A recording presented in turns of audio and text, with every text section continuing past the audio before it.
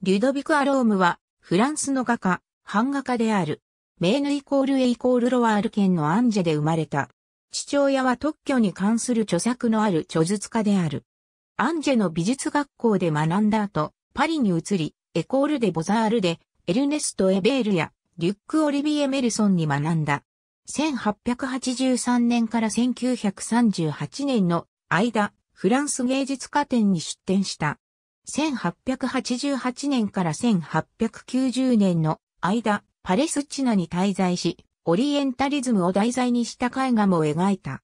版画家としては1894年から版画家協会の展覧会に出展した。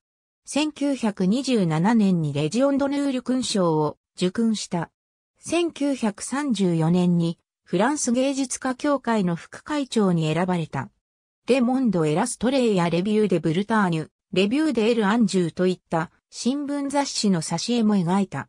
兄のオーギュスト・アロームはステンドグラス作家として工房を開いており、マイエンヌ県のクラオンなど各地の教会のステンドグラスのデザインもした。ありがとうございます。